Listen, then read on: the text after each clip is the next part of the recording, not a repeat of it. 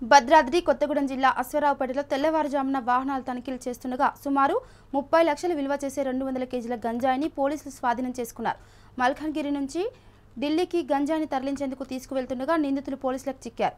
పట్టుబడ్డ వారి సెల్ ఫోన్ల ఆధారంగా ఇది పెద్ద రాకెట్లా తెలుస్తుందని ఆ దిశగా విచారణ చేస్తున్నట్లు పోలీసులు వెల్లడించారు. ఈ ఘటనలో ఇద్దరు పరారీలో ఉండగా వారిని వారిని కూడా త్వరలో పట్టుకుంటామని పోలీసులు తెలిపారు.